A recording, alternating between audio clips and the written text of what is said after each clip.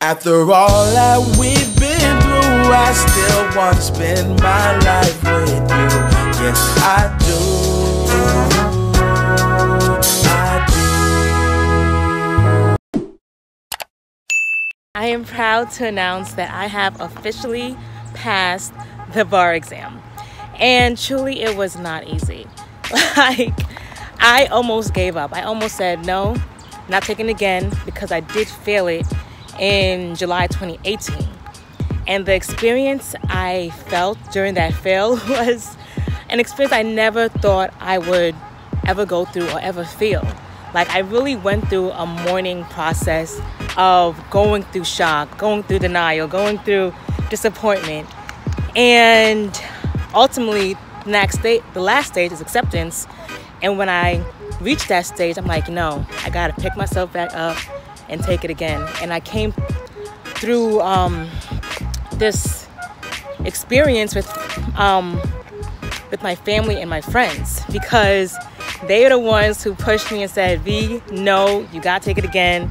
Like you're not gonna let this take you down. You can't just give up right here. One more time. You got this." And it was through their encouragement, their push, their tough love that I found strength in God to pick myself back up and do it again. Hold on. Yeah, so I took it again in February 2019. And the study process that I went through the second time around was absolutely different.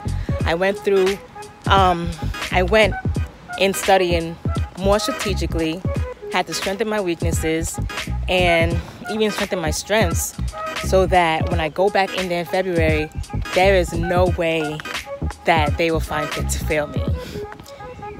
Yeah.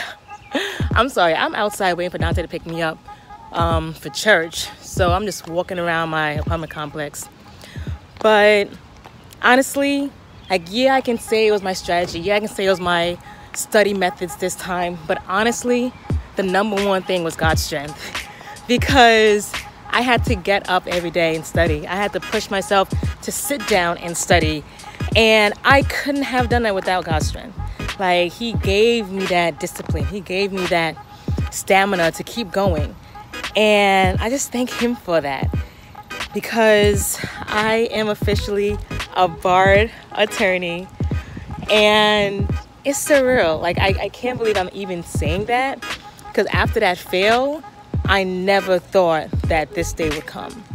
I'm just like, hey, maybe it's not for me. Maybe this is not my divine purpose. Maybe God does not want me to become an attorney. And if you saw my last video, I wrote, well, I spoke about the reasons why I'm blessed and thankful that I didn't pass the bar exam. And now I'm here telling you guys that I did pass the bar exam. But at the same time, if you watch that video, one of the reasons why I was thankful was because I now have this creative surge that has taken over me. And though I passed the bar exam, though I will be a board attorney, I will not let my creative energy get dim. Like, I will continue to put out content um, that I love putting out. I will continue to expand my creativities in other areas in life and just be more than just a board attorney because I know God has a bigger purpose for me on earth than just becoming a bar attorney. So let me stop rambling. Um, yes, so I had to share with you guys this experience, this blessing, and I'm all ready to church to praise. Thank God for it all. But I will be vlogging with Donte this whole weekend because it is my last weekend in DC.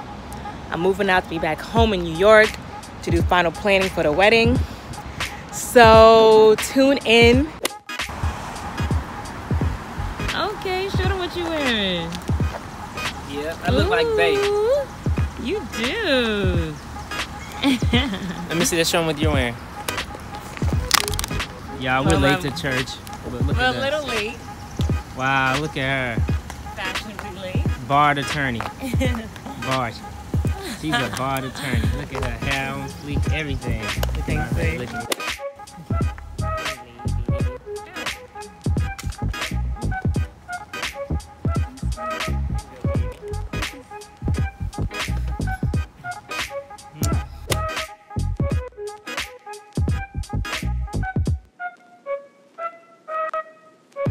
Yeah. Okay, so V just had her last service At at, Metropolitan STA Church. Okay. And the sermon was around creating me a clean heart. Yes, critical. And what better way to end my last service there? Right. Where, yes, like where we go next, our next chapter in our life, we want to continue to clean our hearts so we can be better people. right. Absolutely, absolutely. And it's all about self awareness. So if you're going to be Mhm. critical of other people, you must first be critical uh, Of yours- yourself, all right? And That's so right. you got to not only apply the, the test of scrutiny against others, but also you have to place yourself under a microscope and see where areas in life that you need improvement, okay?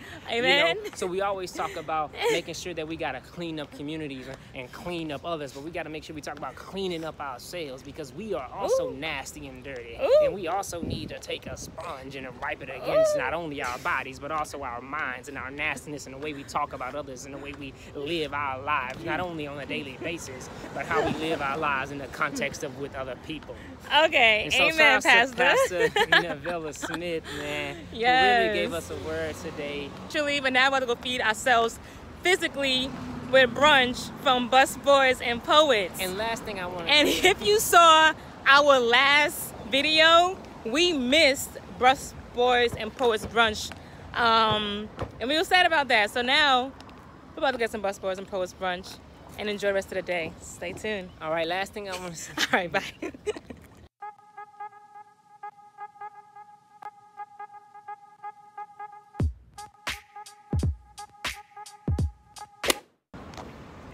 and we're back. And we're Hey, hey, hey, I am F U L L, all right? So yeah, we'll um, let you know what, what we do next, and you will see, because we don't know yet. But when we do know, you'll see, because then by then we know. Okay, bye.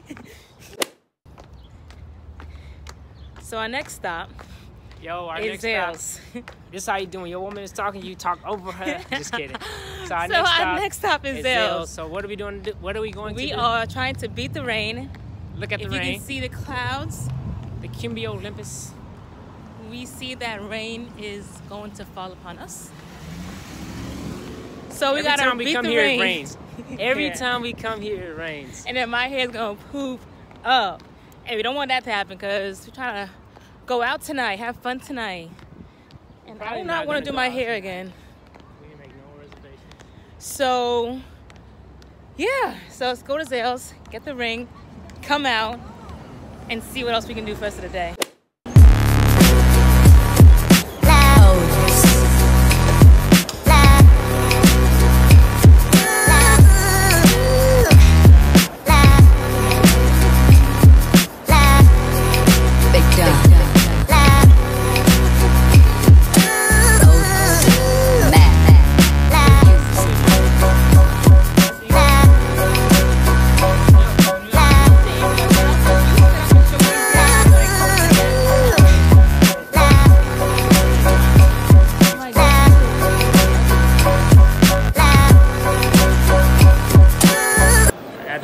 Told This, this. this is this is what a man does when you tell him to fix your hair. Yeah, try to fix this. he just drags his fingers through the hair. They're not asking me to. We're about to get the wedding band We are. for me. Special order.